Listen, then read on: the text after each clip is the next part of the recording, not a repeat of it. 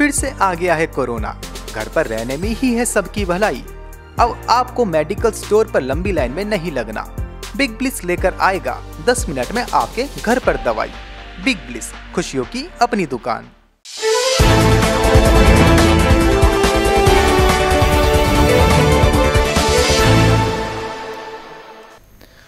ये सभी जी बात करें अगर सोयाबीन की तो देख रहे हैं कि यूएस सोयाबीन आज 1530 डॉलर के ऊपर निकल चुका है। बहुत ही शानदार तेज़ी देखने को मिल रही है। वायदा में भी एन सी पर सोयाबीन का वायदा बाज़ार चौंसठ के लेवल्स पर ट्रेड करता नज़र आ रहा है। अमित जी देख रहे हैं कि इंटरनेशनल मार्केट में तो सोयाबीन में लगातार तेज़ी बनती नज़र आ रही है, लेकिन डोमेस्टिकली डोमेस्टिक लेवल पर देख रहे हैं सोयाबीन में कुछ ज़्यादा खास तेज़ी देखने को नहीं मिल रही है। आपको क्या लगता है? जैसे कि साउथ अमेरिका में, ब्राज़ील और अर्जेंटीना में उत्पादन अनुमान कम रहन उत्पादन अनुमान में कटौती की गई है और यहाँ पे भी जो मंडियाँ हैं, वहाँ पर राइवल्स कम देखने को मिल रही है। तो सोयाबीन में एक अच्छी तेज़ी कब तक देखने को मिल सकती है और कितनी?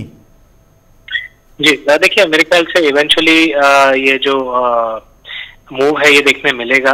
फ़िलहाल हो सकता है कि और एक से एक हफ़्ते से दस दिन तक हम साइडवेज सा कारोबार देखेंगे लेकिन हम्म। आ, मेरा जो ओवरऑल रुख है वो तेज़ी की तरफ़ ही है जैसे हमारी पहले भी बात हो चुकी है छह हज़ार नौ सौ का एक इमीडिएट टारगेट काफ़ी समय से पेंडिंग है जो मुझे लगता है काफ़ी जल्द अब अचीव हो जाएगा और ओवरऑल जो अगर मैं थोड़ा लंबा नज़रिया पकड़ू तो ऐसा लगता है कि सात हज़ार चार सौ तक के भी दाम हमें देखने मिलेंगे आने वाले एक महीने के अंदर तो आ, काफ़ी जल्द मुझे लगता है कि इसमें जो बाज़ार है वो तेज़ी पकड़ पाएगा।